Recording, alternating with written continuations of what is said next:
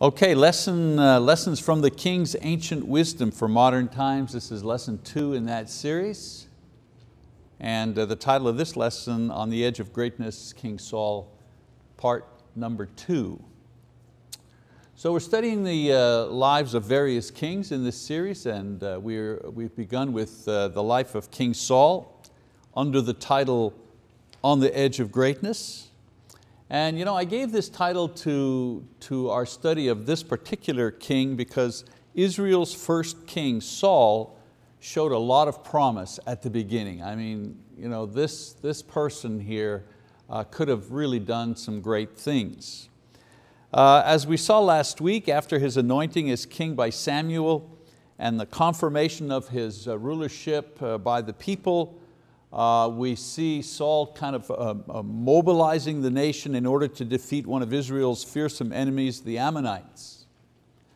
Um, we even see Saul resisting the temptation to punish those within his own people who originally opposed his coronation and he spared their lives, you know, giving glory to God instead. You know, he was saying this is not a day for recrimination, this is not a day for revenge, this is a day of victory. This is a day we give glory to God, demonstrating great wisdom at that moment. So we left off last week as the people were reaffirming their allegiance to Saul as king before God with joy and prayer and sacrifice. Uh, this heady time would soon give way to uh, darker periods as Saul would begin his slow descent into madness and loss. A really, a really sad story. So when we look at Saul's actions and his decisions as king, we begin to recognize a number of patterns that led to his eventual downfall. And I want to look at those uh, as we begin the lesson this morning. The first pattern that we, uh, that we see is a pattern of disobedience. A pattern of disobedience. So let's read 1 Samuel chapter 13, beginning in verse one. It says, Saul was 30 years old when he began to reign, and he now reigned 42 years over Israel. Now Saul chose for himself 3,000 men of Israel, of which 2,000 were with Saul at, at Michmash and in the hill country of Bethel, while a thousand were with Jonathan at Gibeah of Benjamin. But he sent away the rest of the people, each to his tent. Jonathan smote the garrison of the Philistines that was in Geba, and the Philistines heard of it. Then Saul blew the trumpet throughout the land saying, let the Hebrews hear. All Israel heard the news that Saul had smitten the garrison of the Philistines and also that Israel had become odious to the Philistines. The people were then summoned to, Gaul, uh, to Saul rather, at Gilgal. So let's take a look at you know, what's going on here. The Philistines were the greatest and most powerful enemy uh, that the Israelites had. And in this uh, episode, Jonathan, Saul's son, uh, the prince and the heir to the throne, mounts a foolish attack on a garrison of Philistine soldiers and wins, a small victory. Now this provokes an all-out war with the other nation and Saul without any guidance, without any plan. Um, Saul calls on the Israelites to prepare for war. I mean, there's a little skirmish, that causes a problem, instead of going to the Lord for help in prayer, going to Samuel for guidance or whatever, perhaps some diplomacy can be worked out. No, Saul, Saul you know, he blows the trumpet and he, he assembles the people for war. You know, he's coming off of a victory against the Ammonites. He's feeling pretty good, he's feeling pretty strong. So he figures, the Philistines, sure, let's, you want to fight, let's, let's fight. So uh, in verse five to eight, we continue to read, now the Philistines assembled to fight with Israel, 30,000 chariots. Remember how many people were with Saul? 2,000 with Saul, a couple of thousand, 1,000 with, uh, with his son. So here it says the Philistines, they assembled to fight 30,000 chariots and 6,000 horsemen and people like the sand which is on the seashore in abundance. And they came up and camped in Michmash, east of Bethaven. When the men of Israel saw that they were in a strait, for the people were hard pressed, then the people hid themselves in caves, in thickets, in cliffs, in cellars, and in pits. Also some of the Hebrews crossed the Jordan into the land of Gad and Gilead. But as for Saul, he was still in Gilgal, and all the people followed him trembling. Now he waited seven days according to the appointed time set by Samuel. But Samuel did not come to Gilgal and the people were scattering from him. So very quickly, the Jews see that they are outnumbered and they are outmatched. And Saul, as he waited upon Samuel to seek God's help and blessings, noted that his forces were starting to run away. Remember, Samuel said, before you go out to war, you wait, you wait seven days and I will come, okay? And I will come offer a sacrifice or whatever to prepare the troops. So while Saul is waiting for you know, Samuel to show up, uh, a huge Philistine army you know, begins to encamp near him and around him, and his own soldiers begin, you know, they're, they're abandoning him because they see how outmatched they are. So let's keep reading. It says, so Saul said, bring to me the burnt offering and the peace offerings. And he offered the burnt offering. As soon as he finished offering the burnt offering, behold, Samuel came and Saul went out to meet him and to greet him. But Samuel said, what have you done? And Saul said, because I saw that the people were scattering from me and that you did not come within the appointed days and that the Philistines were assembling at Michmash, therefore I said, now the Philistines will come down against me at Gilgal and I have not asked the favor of the Lord. So I forced myself and offered the burnt offering. Samuel said to Saul, you have acted foolishly. You have not kept the commandment of the Lord your God, which He commanded you, for now the Lord would have established your kingdom over Israel forever. But now your kingdom shall not endure. The Lord has sought out for himself a man after his own heart, and the Lord has appointed him as ruler over his people, because you have not kept what the Lord commanded you. And so he's afraid that he would lose his following. He disobeys Samuel who told him to wait. And he offers the sacrifice himself, which he was not allowed to do. He wasn't a priest. The kings were not allowed to offer sacrifice. And so Samuel shows up and rebukes him and tells him that because of his disobedience, God would send, some, oh, God first of all would remove the kingdom from him and give it to someone who would obey him. Notice he didn't say someone stronger than you, a better tactician than you, a better manager than you. No, no, no. Someone who'll obey. That's who will get the kingdom. So this pattern of disobedience to God's commands you know, would continue throughout his lifetime and he would never truly repent of it. So uh, uh, was everything lost? Well, no, not necessarily. He could have repented. You know? He could have gone to God and said, look, I, you know, I've, I've messed up, please. For, you know, he didn't do that. And so this, this pattern of, of, of uh, disobedience eventually led to a pattern of instability. Now I'm not going to read all of chapter 14, it's too many, too, much passage, too many passages here for the time that we have, so I'll kind of summarize the story for you. In chapter 14, we see what happens after the disaster of the sacrifice offered by Saul instead of Samuel. Jonathan, his son, goes ahead and he attacks another small contingency of Philistine soldiers and he succeeds again in winning a small victory. Well, this sudden and unexpected defeat demoralizes the entire Philistine army to the point where they became afraid and vulnerable and ready to retreat. Now, we need to understand the background here a little bit. One of the reasons for this was that there were no swords or weapons in Israel at that time since the Philistines controlled all the making and repair of iron-based tools and weapons. So if they needed to sharpen one of their implements for farming, they had to go to Philistine territory in order to have that done. They didn't have their own production of metal. Only the king and a few others had swords.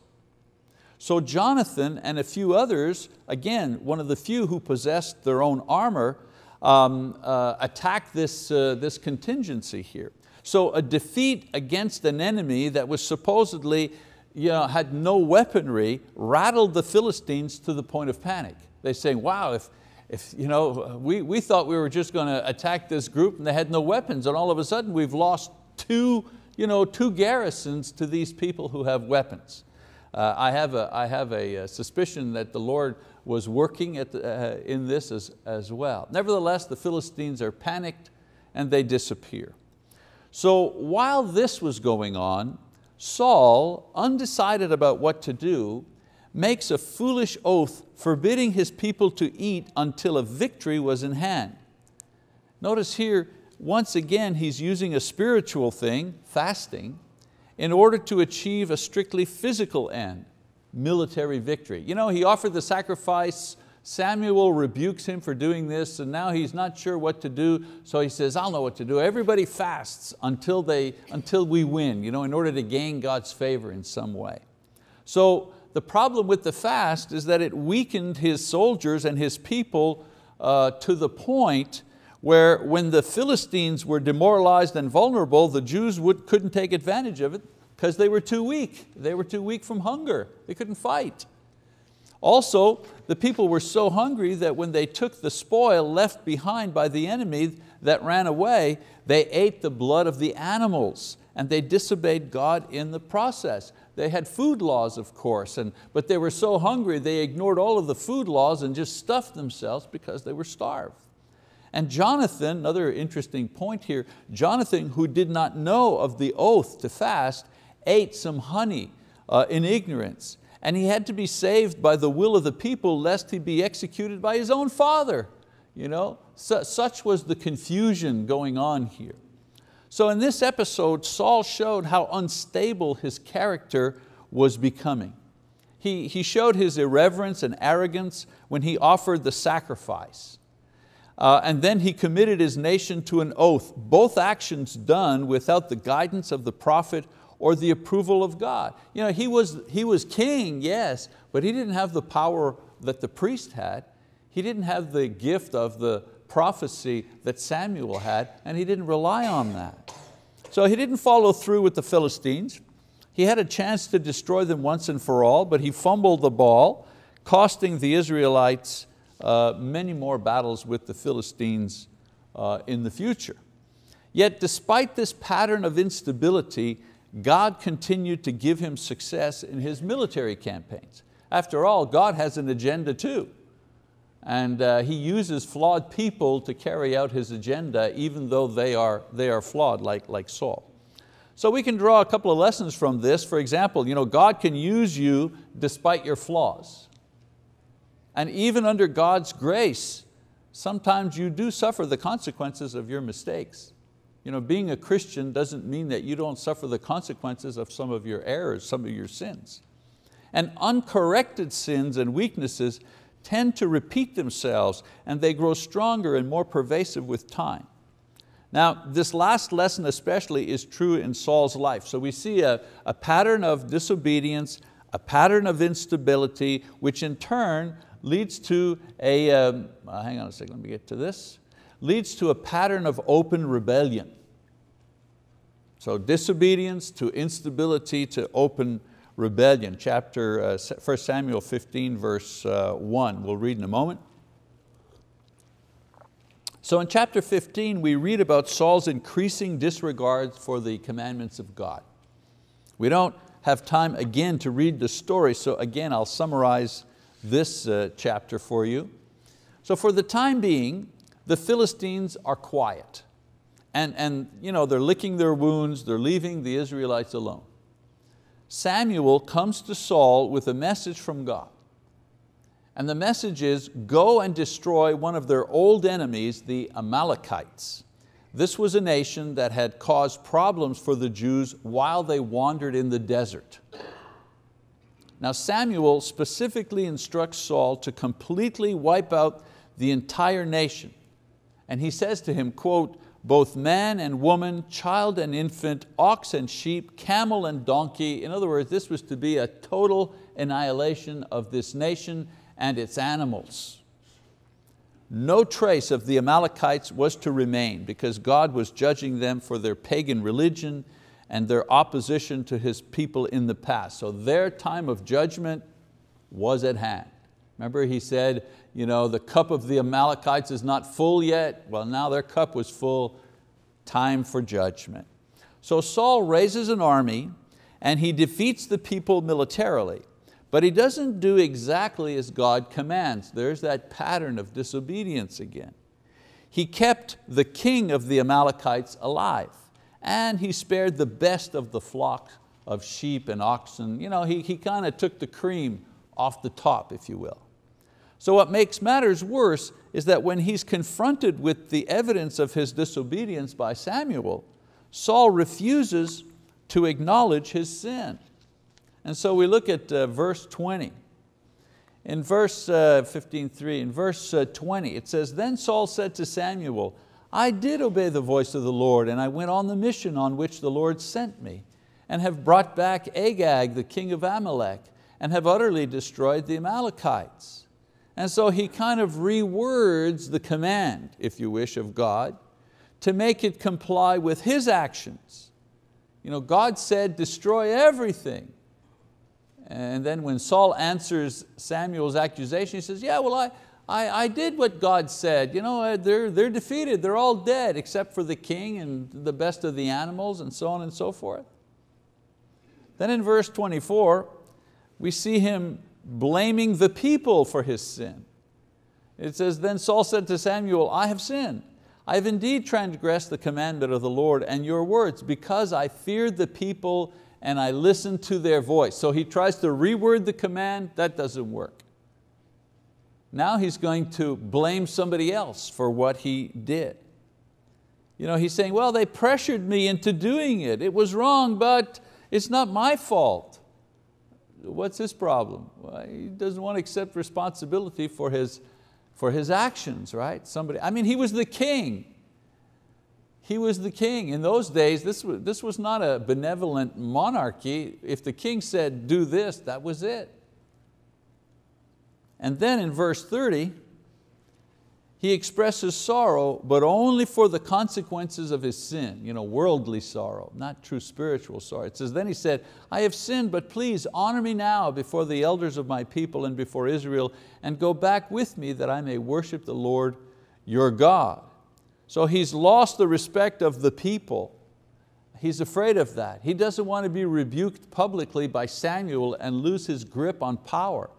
So he says, yeah, yeah, I sinned, I'm sorry, but come on back with me and pray with me. In other words, you know, stand up with me. Give me your approval in front of the people so that they will continue to give me their approval. Of course, Samuel pierces his denials and his defenses with the truth about what his sins really are. Let's read verse 23. He says, for rebellion is as the sin of divination and insubordination is as iniquity and idolatry. Because you have rejected the word of the Lord, He has also rejected you from being king. So what are his sins uh, that uh, Samuel says? Well, rebellion for one. He says rebellion is divination in the sense that you rely on some other source of power, in this case self or others, or you seek out spirits instead of God's power. You know, it's the allegiance to power from below rather than power from above. It is the attempt to overthrow the balance and the order of God's power and institute another power in His place. You know, how, how, does a king rebel? I mean, he's in charge. He can't rebel against the people. The people are supposed to be subordinate to him. Well, he's rebelling against the power that's above him against God. That's rebellion. He's putting himself, you know, he's answerable only to himself. Then uh, Samuel says he's stubborn. Samuel equates stubbornness uh, to the sin of idolatry and wickedness. It's a direct refusal to submit to God's authority. You know, it's idolatry when it's done in ignorance. It's wickedness and iniquity when done despite knowing the truth. I'm going to repeat that. Stubbornness becomes idolatry when done in ignorance. But it's wickedness and iniquity when we know the truth, but we do our thing anyways. That's, God sees that as wickedness.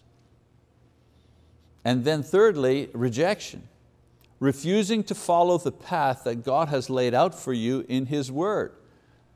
This equals rejection of God. You refuse to do what God wants you to do or to follow the path that He's given to you, uh, yeah, you've rejected God.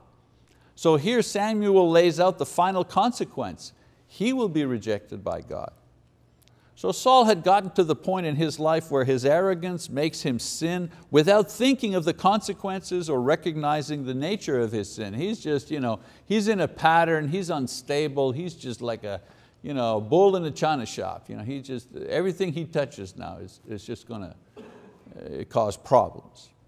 So in the end, he doesn't see the price that his sins are costing him. Not just the respect of the people, but the complete loss of God's favor and the privilege of serving Him. And of course, uh, in another sense, the loss of the kingdom for his son. As he uh, will read later on, as he grows older, he begins thinking about passing the kingdom on to his son. And he's also jeopardized that as well. So we've seen a pattern of disobedience that leads to instability, that leads to rebellion, and then we see a pattern of fear in his life. As I said, disobedience leads to instability, which produces open rebellion, and, and these things in turn create this intense paranoia in him. He was too proud to repent, so he just forged ahead without, without God's blessing. And you know, this is a, a sure, sure recipe for depression and fear. So in chapter 16, we see that Saul is now violent and out of control. He threatens to kill anybody who opposes him. What a difference from the guy at the beginning who was hiding in the baggage area you know, and too shy to come forward to be acknowledged as king by the people. You know, he's come a long way from the time when God you know, called on him through Samuel and, and he was saying, oh, I'm from the least tribe and my family is the least family. You know, he, there was some humility there, couldn't believe that he would be chosen as king. What a long way he's come from that particular personality. And how did he get there? Well, he was tested by God by being given a great responsibility. And his disobedience led to instability, led to rebellion, and now leads to his constant uh, paranoia. He's now become a ruler keeping his position by force, not by grace. He rules only because God allows him to do so, but he's in fear, fear from God's will and fear of God's purpose. So we see that he now begins to seek out secular things like music to soothe his troubled soul, right? You know, he, he, he has the, he, he's, it says he's troubled by spirits, you know, a way of saying he's depressed, he's down, he's unstable, and his advisors you know, say, well, let's, let's find him someone who plays music and sings you know, that could soothe him. Instead of going to God in prayer, he, he turns to secular things in order to soothe his troubled soul. Again, rather than pouring out his heart in repentance to God. So Saul has rebelled against the Lord and he's attempting to rule without reference to God's will or direction. All right, so I'm going to stop here and, and we're going to draw some lessons now. But uh, uh, we're going to continue next week. Again, not a happy, not a happy scene. We just, we just watched this guy you know, just spiraling down, down, down. It's a sad story. I think most of us know how it ends. Pretty sad story. So uh, you know, there's, a, there's a reason for this. It's not just that uh, the circumstances were difficult in his life. Uh, he began well. He had a great victory at the beginning, the respect of the people, the blessing of God, he had it all. He had it all. But the, the, the disobedience that he demonstrated when he was tested, and not in a great thing, God said, you know, wait, wait for the priest to come and offer the sacrifice. He couldn't wait. So sometimes you know, those small disobediences begin to you know, morph into larger ones. And there's also always consequences. The, the, the advantage of being able to read about Saul's life is we see his entire life and we can recognize the patterns in his life. We can't always do that in our own lives. You know? Uh, you know, hopefully we can look to the past and see if there are any patterns there that have led us to where we are today, good or bad. That's a, a good way uh, also when we're in prayer, you know, to examine ourselves, to examine our lives you know, and see what are some of the things that have brought me to this point of success or this point of failure? You, you'll see it's, it's a very helpful thing. So anyway, Saul's tragic life uh, is so full of important lessons for us, even though we live in a different era and a different position that he experienced. So a couple of lessons uh, from his uh, life. After all, the series is called Lessons from the King, so here's a couple of lessons. Lesson number one, success is no guarantee against judgment. Saul continued to reign. He continued to have the allegiance of the people. He continued to win military battles, nevertheless. But this was not because God was pleased with him. It suited God's overall purpose for the nation to keep him there and to protect the nation. But Saul's judgment was coming. So we mustn't judge our standing with God by how we feel you know, emotionally or how successful we are. We need to judge our standing with God by how obedient we are. That's the measure of success. You know, if, if, if success with God was based on you know, wealth, then uh, uh, all the stars in Hollywood would be going to heaven. we could say that God is pleased with you know, the, the millionaire, uh, the millionaire uh, purveyors of pornography online, because those guys are making millions and millions of dollars you know, spewing their garbage on the internet. They're successful, they have beautiful homes, their kids go to private schools, they have nice cars, they're clean, they hobnob with you know, the elites. We don't measure our success with God with our success here on earth. Uh, what do we do when we have success here on earth? Well, we give thanks. If you're a believer, whatever good I have, I'm happy to give thanks to God. The ability to recognize what we have, that what we have comes from God, that's a wonderful blessing because uh, the giving of thanks is what leads us to contentment. People say, you know, I just don't feel content or you know, I just don't have that feeling. And I ask them, how much time do you spend in prayer giving thanks? reviewing the blessings that you have and giving thanks for them. Well, you know, once in a while I, I give thanks at my meals, I guarantee you, if you sat down and said, I'm only going to begin to give thanks just for the blessings that I have, and I'm going to start reviewing those, you, you won't, there's not enough time in the day. you know, I, I give thanks because I'm able to blink. I'm able to blink because there are some people that have eye disease problems, they cannot blink you know, people have Bell's palsy, for example. They have to manually make their eyelid move because, the, because of the, the, uh, the trauma that that causes to their face. Imagine if you couldn't blink, if you had to do it manually, if you had to put drops in your eyes, people who've had eye surgery didn't work real well, now they've got to put drops in their eyes every few hours. Imagine if that's what you had to do. That's just blinking. just blinking. I mean, we could go on with all the bodily functions, I think I'll spare you those, but you know, think, think, think just for a minute. If you couldn't breathe in and out, those people that have you know, breathing issues, serious asthma, I can, I can breathe deep. Thank you, Lord, for that. So if you start breaking down all your blessings, there are not, not enough hours in the day to give thanks for all of them. My point is, when we begin to cultivate a thankful heart, the, the outcome of that is that that leads us to contentment. We also enter into a more content state. See, the, the state of contentment is not achieved by getting more stuff. People think, well, if I just have more, if I have, just, you know, if I have a bigger this, bigger bank account, more money in the bank, more safety, more investments, whatever, I'll feel content.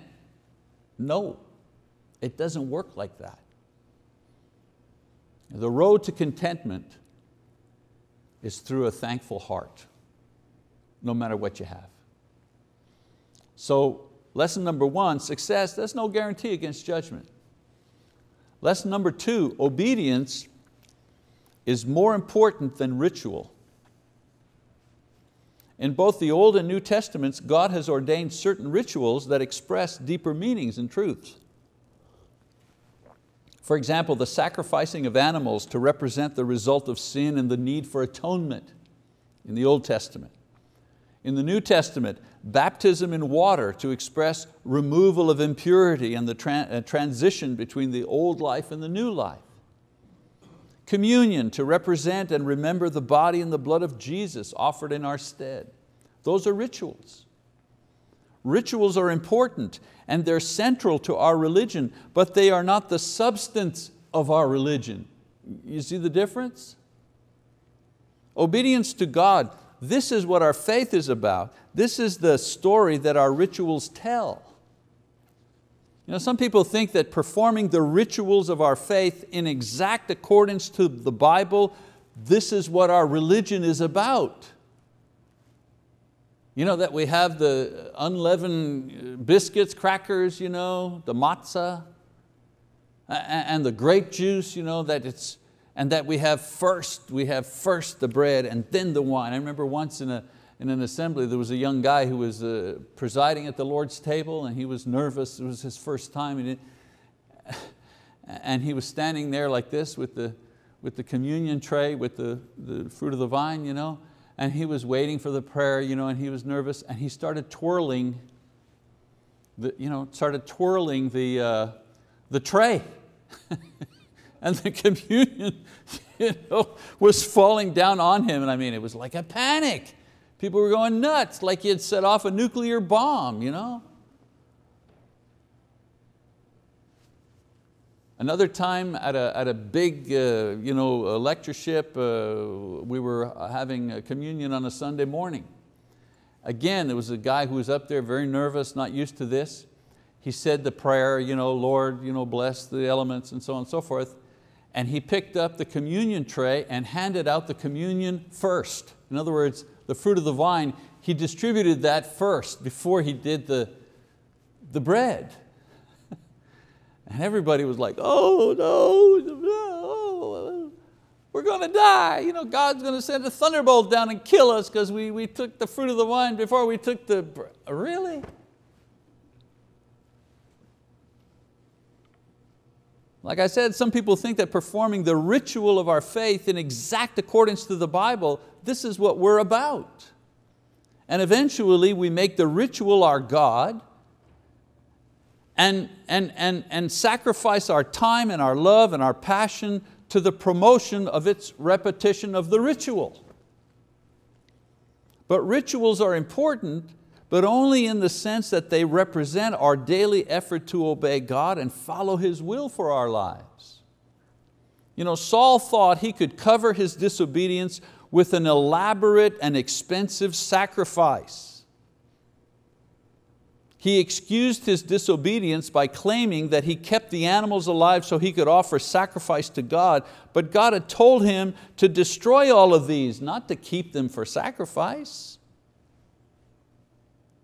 And Samuel, you know, he cut to the heart of the matter when he said to Saul, has the Lord um, uh, has the Lord as much delight in burnt offerings and sacrifices as in obeying the voice of the Lord? Behold, to obey is better than sacrifice. 1 Samuel 15 verse 22. Hey, I'm not saying let's do away with communion. No, of, of course not.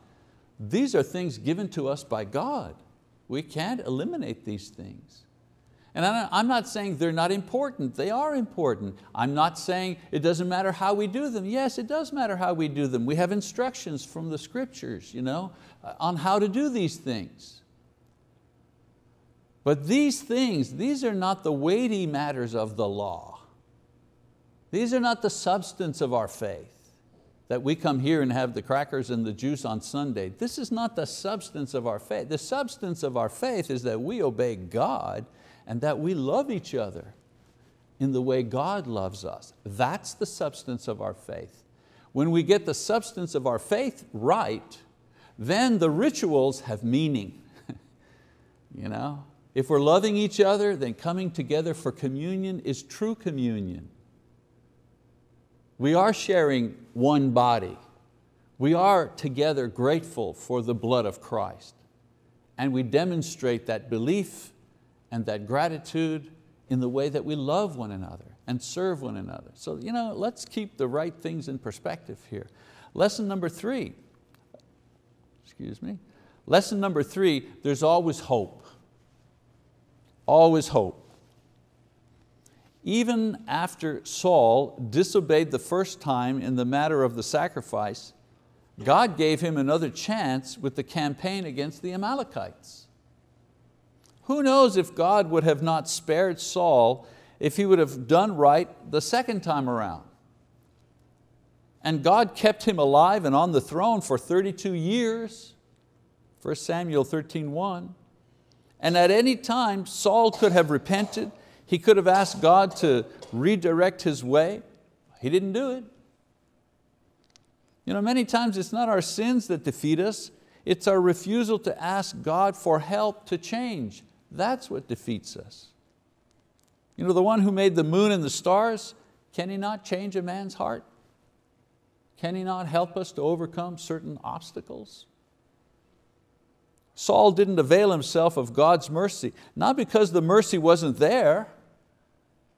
No, he didn't avail of God's, he didn't receive God's mercy because he didn't ask for it. He didn't ask for it. So there's always hope despite our failures. God wants to give us a second chance. We just have to ask for it. Because I firmly believe that He's the God of hope, and He's the God of love, and He's the God of mercy, the King of mercy.